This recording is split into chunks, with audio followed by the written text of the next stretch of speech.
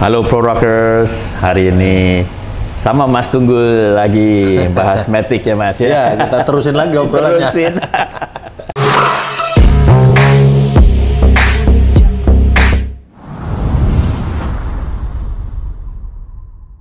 Ah, ini Mas. Ya, ini yang pertama. Ini apa sih bedanya torque converter? Ini kan koplingnya Matic ya. Ya. Bedanya torque converter ini dengan kopling manual. Kopling yang kendaraan biasa-biasa dipakai. Bedanya, Bu? Ini, Bro. Sebetulnya prinsipnya atau eh, purpose-nya ini tuh sama Mas. Um, Sama ya. Ini koplingnya Matic gitu Hmm. loh Mas. Istilahnya torque converter. Jadi uh, dia merubah power dari engine itu Hmm. jadi torsi ke transmisi gitu Iya. loh. Ini istilahnya kalau antara bengkel itu donat. Ya, karena bentuknya kayak donat memang ya, betul. Donatnya gitu. donatnya ya. Jadi jangan jangan telepon ke Amerika pesen donat untuk Mas. Jadi ya ini ini kelihatannya simple tapi dalamnya ini complicated Mas. Ya, Dia ya kalau cara mikirnya ya itu itu baling-baling dua, tengahnya tuh ada istilahnya stator Mas. Jadi Hmm. baling-balingnya tuh arahnya uh, opposite gitu mas. Jadi yang sini muter, gimana caranya baling-baling ini ikut muter karena dia banyak sirip-siripnya gitu loh, mas.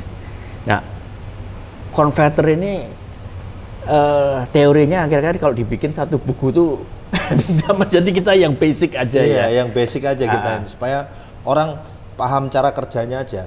Kan kalau istilahnya kalau kopling manual kita bilang kopling kering. Ya, Ya, itu ya. lebih. Kalau ini kan harus basah dengan Ya, oli, wet betul kan, Bro? wet clutch. Nah. Jadi kalau nggak ada olinya, dia nggak bakal kerja. Dan Karena bisa iya. terbakar ya kan? Iya, terbakar. Bisa, jangan salah ini bisa terbakar kalau Iya. kurang oli, Ya. olinya tidak bagus, Ya. terlalu panas. Jadi bukan berarti basah itu terus nggak nggak ada slip kopling yang bikin terbakar Iya, ya kan bener iya, kan? Ya.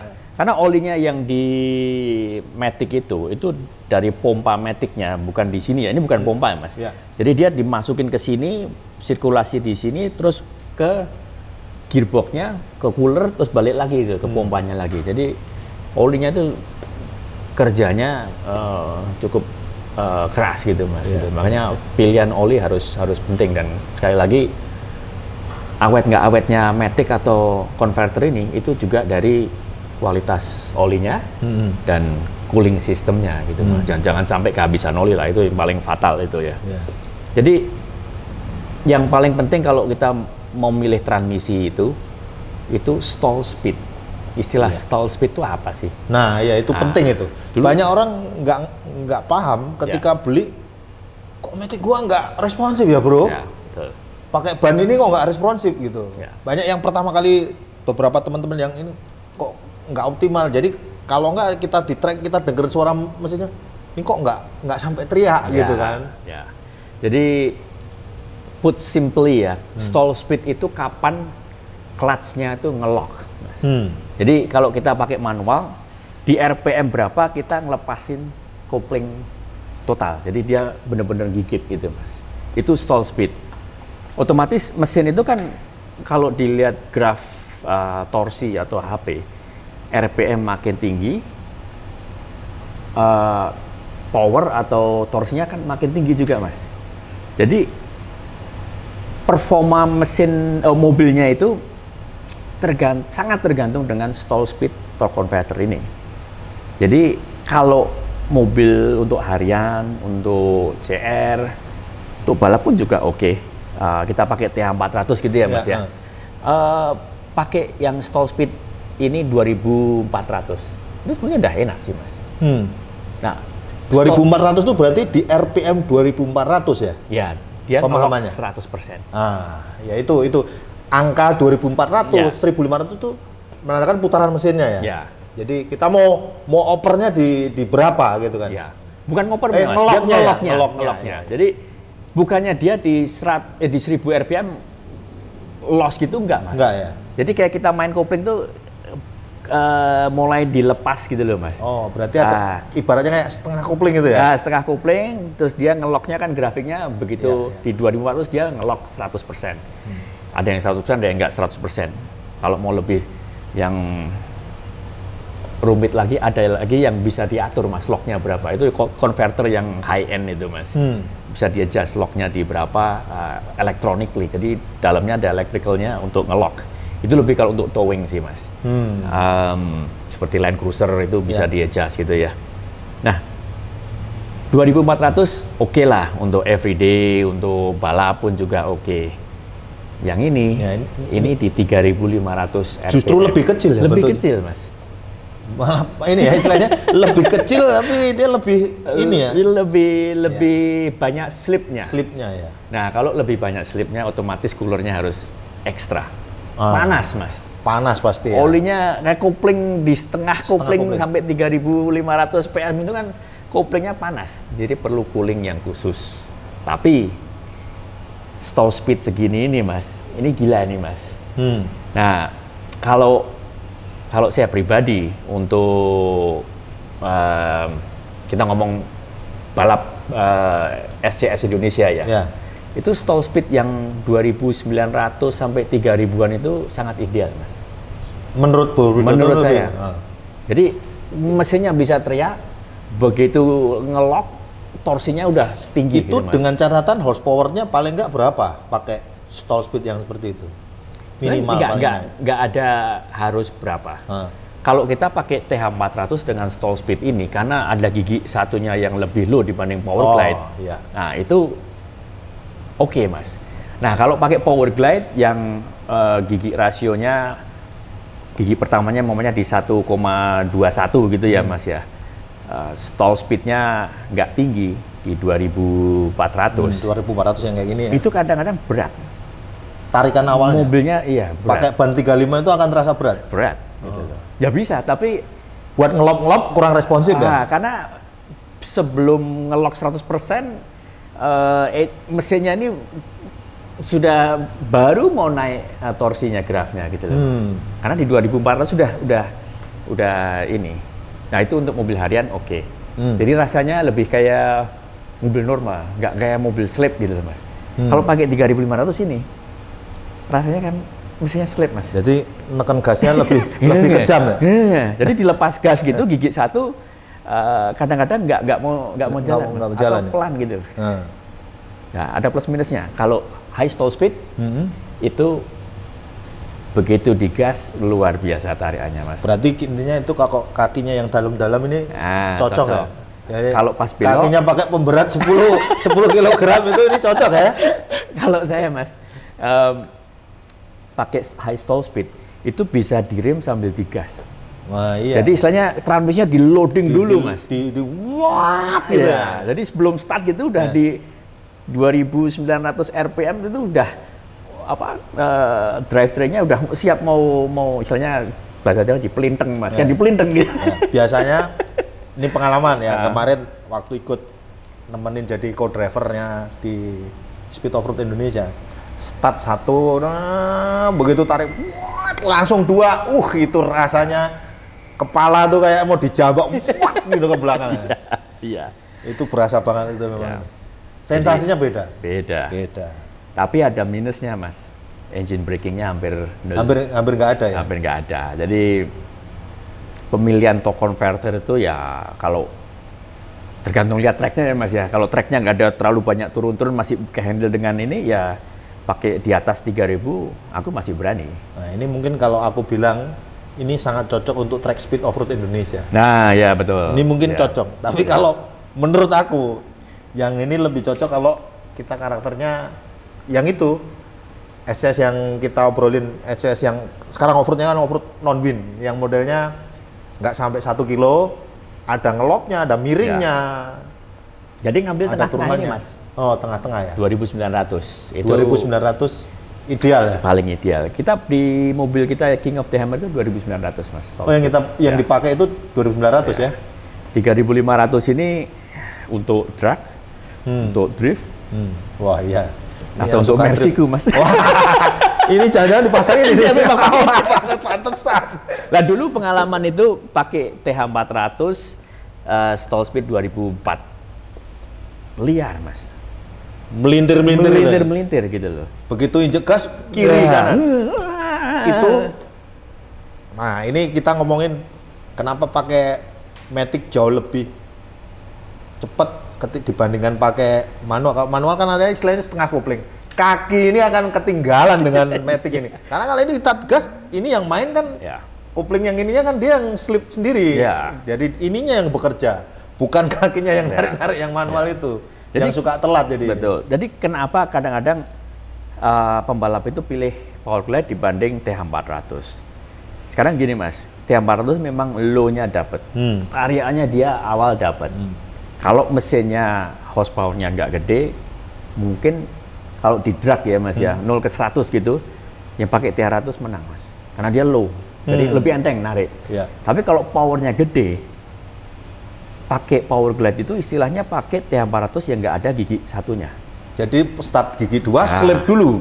Selip dulu, Ah, baru ya, us gitu kan. karena powernya gede, Hmm. 0 ke 100 itu kalau pakai TH100 dia ngoper sekali. Begitu ngoper kan per mili berapa detik dia tetap Ya. time-nya hilang. Power glide karena nggak ada gigi satunya, langsung gigi dua istilahnya, dia nggak harus ngoper. Ya. Maka itu drag racing rata-rata pakai power glide. ya. Itu satu untuk balap-balap power glide gitu. Hmm. Jadi ya ada plus minusnya lah, tergantung mesin, tergantung mesin, juga tergantung driver. Ya. Nggak semua suka karakter yang rasanya slip. Hmm. Gitu. Ada yang suka responsif langsung. What? What? Gitu ada. Ya. Kan juga bisa pakai TH400 yang manual valve body, jadi yang nggak bisa ngoper sendiri, start di gigi dua, sama aja kan. Jadi tangannya lincah ya. Ah. Ya. Pindahin. Begitu- Dua, tiga, satu. Begitu dapat yang track turun perlu engine brake, kan masih ada gigi satu. Kalau power glide nggak bisa, nggak ada gigi satunya yang low. Jadi all round tetap TH400 mas, all round ya. All round ya. Karena masih bisa dapat engine braking walaupun stall speednya agak lebih tinggi. Kalau power glide ya track-track yang kenceng-kenceng aja mas. Ya.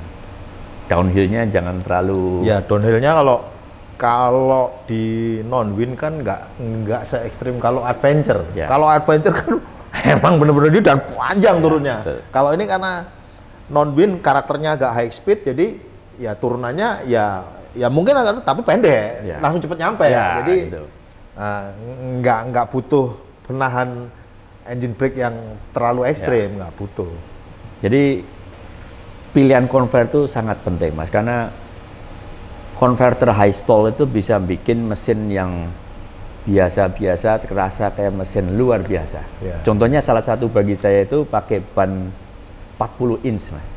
40 in pakai mesin LM7 yang 5,3 liter 330 HP pakai power glide jadi mesinnya ya standar lah nggak terlalu over tapi aku pakai yang stall 3500 itu rasanya kayak pakai mesin LS7 mas yang 700 Iya, HP karena di di gigi satu high speed di aspalan Hmm. four wheel drive banyak spin mas. Ngabisin aspal itu. Jadi pilihan converter itu uh, harus harus pas. gitu. Harus pas ya? Harus pas. Jadi mungkin sebelum ini tanya-tanya dulu se- sesuai disesuaikan dengan kebutuhan ya. Ya. Kita mau mainnya di apa dulu. Sebenarnya kan gitu ya. Ya, Jadi kalau ya nggak ada salahnya juga. Ini kan bisa kita ganti. Kalau kita memang mau tracknya panjang yang optimal, yang ini turunin tuker yang Ya. yang karakternya high speed ya. Iya, Betul ya? Iya betul. Jadi ya overview transmisi udah di video sebelum ini. Hmm. Uh, masalah converter di video ini. Sebenarnya di, di area Matic ini masih banyak yang Iya, banyak. tips and tricks sih mas. Um, Ini satu lagi bro yang perlu di ini. Ah, kita balik lagi. Selalu kita ngomongnya kan gimana sih supaya torque converter ini awet? Ya kan perawatannya apa? Apakah butuh trik khusus atau yang penting oli bagus, Itu buka rahasia bengkel. Tapi nggak apa-apa. Ya sekali-sekali lah Ah, biar ya. biar semuanya tuh Aku open kok, aku open, Mas. makanya kan puas. Ya. Teman-teman Kalau- offroad ini enggak apa ya, lebih lebih apa ya, lebih ya ya apa pun ceritanya ini kan lumayan mahal harganya. Jadi Ya, kalau ya. kalau tidak ngerti terus rusak kan nanti malah kapok nggak main Ya. offroad kan repot juga malah. Joking mas. Aku kalau aku selalu open lah ya. Iya, iya, Semua open mas. Iya iya iya. Ah, nggak nggak pelit ilmu lah. Iya. Ngapain ilmu di ini? Iya. Converter tuh awalnya waktu pemasangan. Waktu pemasangan. Waktu pemasangan itu harus diisi oli. Oh. Salah kesalahan banyak kesalahan yang aku lihat transmisi jebol itu nggak diisi oli dulu. Memang nggak bisa diisi full ya mas ya. Karena kan ini ngisinya gampang. Begitu diginiin kan olinya keluar. Ya. Jadi ya as much as possible dulu dimasukin oli. Intinya mereka dalam kondisi kering ya. Iya, Harusnya kering. dibasahin dulu Ya ya. sebetulnya masih ada olinya sedikit karena dia istilahnya di dyno di pabriknya. Kalau yang konverter yang bagus ya, yang Ya. kita import ini rata-rata di di, eh, di dyno dulu, dicek betul apa enggak, di stall segini dia ngunci. Jadi ya ini pasti ada olinya sedikit. Em, dan waktu masang itu kan transmisinya udah nempel di gearbox, terus konverter pasang dari bawah. Hmm. Yang penting tuh harus cek eh, jaraknya mountingnya ini Mm-mm. sama flywheelnya itu. Jadi ini kan ada asnya mas, bisa Ya, keluar ya. masuk ada Ya. ya berapa mili keluar masuk. Ya. Itu kalau sampai begitu dimasukin nggak ada gapnya sama sekali antara converter sama flywheel, Heeh. itu pasti nggak lama jebol transmisinya. Hmm. Nah rata-rata kalau sampai lupa ngecek nggak ada gapnya, ya itu Pasti langsung kok gearboxnya jebol.